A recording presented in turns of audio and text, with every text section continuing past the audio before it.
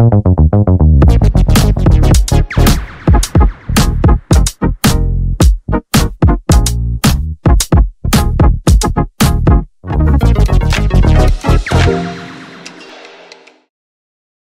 friends, welcome to my Princess Diana channel. Before moving on to the video, if you are not subscribed to my channel, do not forget to subscribe and turn on notifications, so let's move on to the video. As if bad luck needs grace to find Netflix, and it seems to be getting even worse with Harry and Meghan chipping in with more deals gone bad. In fact from the statements, and evidence indicated in the body the Harry and Meghan deal with Netflix today has proven to be bad for the streaming giant seeing that they are poor performers. What kind of a deal would lead to these losses? Well, let's find out firstly, what kind of deal was signed in 2020 by Harry and Meghan with Netflix? The couple's agreement with the world-known streaming service amounted to 100 million, these great sums of money invested in a project that gave no returns, how could the profits have been unmet? Plus who thought they would look that ill-prepared for the cameras? The one business that hasn't turned its back on them is Netflix. Maybe the streaming service that rejects them sees potential for groundbreaking content. As of late, some reports even suggest that Netflix is preparing a polo-based series and another for Meghan's cooking show. Everything surrounding the couple looks too fake and highly self-curated. Meghan, a perpetually recurring character in us tabloids, the tabloid itself is filled with example photo ops though it is still generally considered unreliable due to its checkered reputation. Her cookbook is advertised for one in the nearest thrift store, which essentially means they're throwing it in for free. The initial news of the Netflix deal with Harkle was met with heavy skepticism from almost everyone in the industry for the obvious reason, it is well known that neither of them had the lack of experience or expertise needed to lead such an undertaking. The only way this would have worked is if they had given up a lot of control and hired actual talented professionals to do all the work, and due to their prickly and ambitious nature, that seemed highly unlikely. However, it has an air of doomed from the start, and a good few industry insiders, several of whom I'm friends with, were already predicting it. I should point out that they did hire actual very good people to direct this docuseries. The first one didn't work out, and she was already the second director. Well, Liz Garbus even let Harry Potter pictures into the mockumentary and allowed the offensive editing of the late Queen's speech, plus many countless lies, omissions, etc. hardly befitting actions for a documentary producer. Also, in production is the Polo documentary with Millis Balloch, who worked in the third season of Welcome to Wrexham with Ryan and Rob. And not for the lack of great talented guys but lack of inspiration and ethic to work. But really, all that gets me thinking is that Netflix is doing all of the legwork while the dumber and dumb just kinda bumble along. I mean, tripping over their own feet, to some extent, making everyone's lives a living hell. Well, if they had to literally just sit in front of the camera and call it a day, then I wouldn't mind, but if they are meddling at every stage from filming to editing, and whatever happened to time is money? And now four years later, they are doing stuff for Netflix, which they barely delivered half of. And when they do, it's not like they compete a project in a year or two. The contract might not have an early out clause but it's pay as you go, except for the first two to three years where that money is pulled from the back end. I'd say they're listed as producers in order to draw a monthly salary throughout the production, but again that'll come out of the back end. They totally destroyed a ton of value. Burnt all their bridges. Got an indication they are as valueless as product makers. Both of what I read and what those who know something made it clear, the $100 million Amazon payout was a possible gross, it doesn't embrace projected costs for production and payroll, among other projected costs. The final payout to the pair was probably a fractional percentage of this, but it was still several times what they deserved.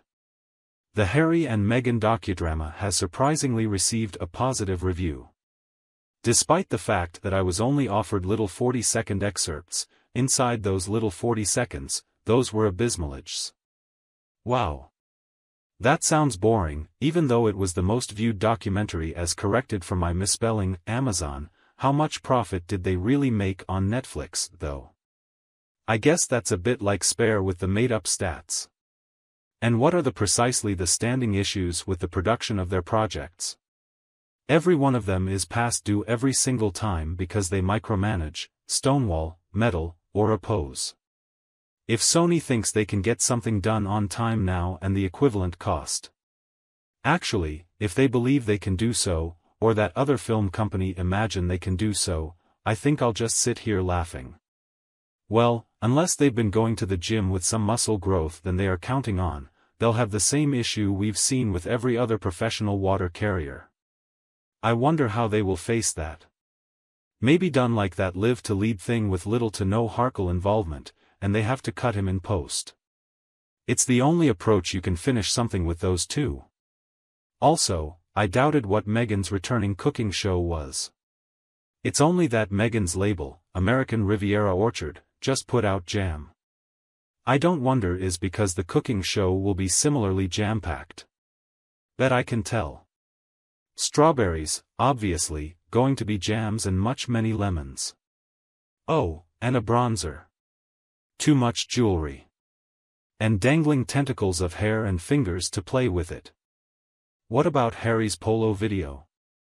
I did watch that video, and all I saw was the fact that the horses there should be saved from Harry. The horse looked like it should be begged for mercy. And the horse has paused there, and he slid off the horse's back and rid away from it and dispatched off Harry. I cannot believe that people borrow their horses to Harry. I believe that Nacho is the one that borrows him the ponies. And the only thing Harry does is scare those people, that do not even mind polo, for the horses. I had also heard a couple of native stories from those who had been growing around the house park that Harry was kind of lambently hard on the horse. William is titled a lessee player because he does not ride the ponies hard enough, and Charles was too much of a banana in his prime. People did not like how Harry was riding, especially because of his spasms. These are people who regard their fondness of horses in the first place. Then Labradors, and the family goes somewhere after.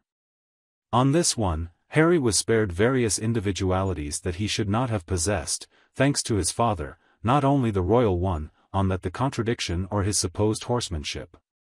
This little circle, selective established, was now torn inside the quite Bozeman cognitive dissonance. And, frankly, King Daddy would fix it up anyway. The high society circles known as the Charles Bunch are creating a marathon of how the incapable younger sons screw up.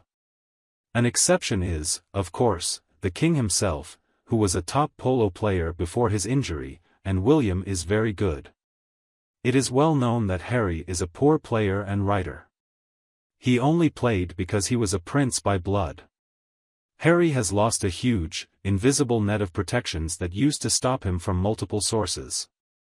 He occupied an absolutely tiny but entirely elite square that connected him to various areas of the establishment. Thus, I guess the question here is if any of the above have some truths and I also moved away etc. It's so general, it could have just been a gripe. I really don't know. You know how tight communities are. And that invisible shield collapses. How much longer will others let him use their ponies?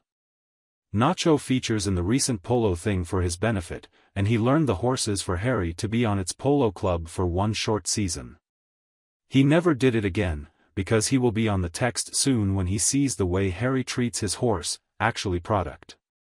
And back to the primary deal with Netflix, and the supposed couple Harry and Meghan. I guess the $100 million initial contract had been blown up. No one pays $100 million to two people with absolutely no track recorded making things.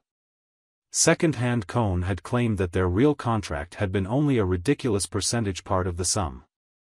So here is something helpful to Netflix if they are going to throw some cash at the thought outdated out of manufacture output costs. And I mean if they get to summer 2024 without anything tangible, then the road will likely be clear to Netflix demanding an easy contract termination due to lack of deliverable content. That's it for our video my friends, I hope you have liked it. Please let me know your thoughts in the comments, and like the video. If you haven't done so yet if you want to be first to be informed about my content, please subscribe to the channel and make sure you turn on notifications. Thank you for spending this time with me, take care of yourself and stay healthy. I'll see you in the next one.